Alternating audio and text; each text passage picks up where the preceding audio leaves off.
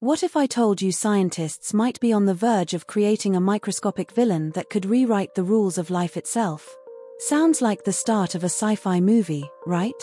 But this isn't fiction, it's the potential reality of mirror bacteria, synthetic organisms so unique they could outsmart every defense life on Earth has.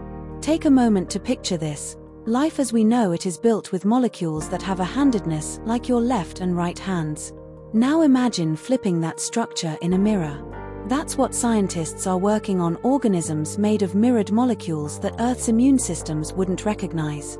These microscopic rebels could bypass every biological defense we've evolved over millions of years. Scary?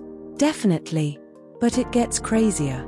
Here's the kicker these mirror bacteria wouldn't just evade your immune system. They could potentially invade ecosystems, infect crops, and wreak havoc on the food supply. Imagine waking up to a world where your favorite snacks are no longer on the shelves, now that hits where it hurt. But hold on, before we spiral into existential dread, let me share something reassuring. This nightmare scenario is still a decade away, or so we hope. But wait, why even create these organisms? That's the big ethical debate. On one hand, mirror life could revolutionize medicine, enabling us to create new drugs or synthetic biology breakthroughs. On the other, it's like building a supervillain in a lab and hoping it doesn't escape. And speaking of escape, here's a fun thought. If Jurassic Park taught us anything, it's that life finds a way. Let's not tempt fate, shall we? So, what happens next? A group of 38 Nobel laureates is calling for a pause on this research.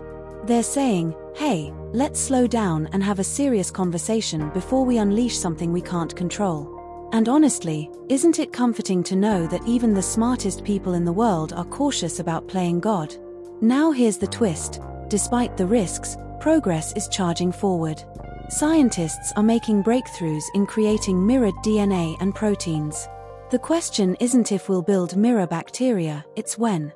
And when that day comes, how do we prepare for a world where the rules of life itself are rewritten? Curious to dive deeper into cutting edge science like this? Check out the next video on my channel, where we explore how technology might shape the future of humanity. Spoiler alert, it's not all doom and gloom. Don't forget to like, share, and subscribe so you never miss a story that could change the way you see the world.